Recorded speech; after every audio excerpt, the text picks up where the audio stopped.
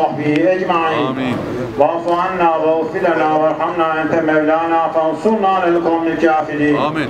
واعف عنا واغفر لنا وارحمنا أنت مولانا فانصرنا على القوم الظالمين آمين واعف عنا واغفر لنا وارحمنا أنت مولانا وأنت أكرم الأكرمين İlahi ya Rabbel Alemin kılmış olduğumuz cuma namazımızı el-an kılmış olduğumuz cenaze namazını merhume için okunan Kur'an-ı Kerim hatimlerini, tevhid hatimlerini Estağfirullah billah ve tekabbelaha rabbuha bi kabulin hasenin ayeti kelimesinin sırrına mazhar eyleyip ahsen ve ekmel surette kabule karin eyle ya Rab.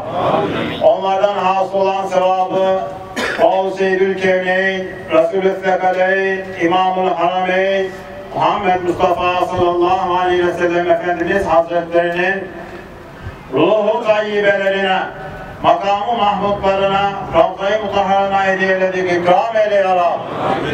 Has olan ecü mesubatı, silsile-i saadat efendilerimizi, ve hasreten Hazreti Ustazımızın mübarek ruhlarını makamlarına hediyeledik. Vasil eyle ya Rab. Yine has olan ecü mesubatı, ta mağripte meşre kadar isimleri unutulmuş, nesilleri kesilmiş, nişaneleri iki taş iken onlar da hak ile yeksan olmuş. Bizlere bir Fatih okuyacak yok bunu deyip bekleşen, bekleşip dağlaşan, ehli iman, ehli İslam mevtalarımızın ruhlarını hediyeledik eyle ya Rab.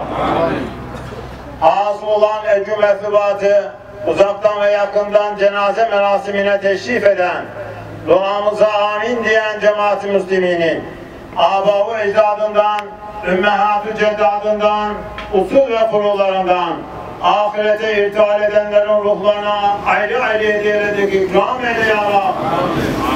Kabirlerini ravzatun min riyazil cinan eyle ya Rab. Ya Rabbel alemin, asıl olan ecü mektubatı, el-an şurada cenaze namazını kılmış olduğumuz, merhume halamızın ruhuna hediyeledik sen vasil eyle ya Rab.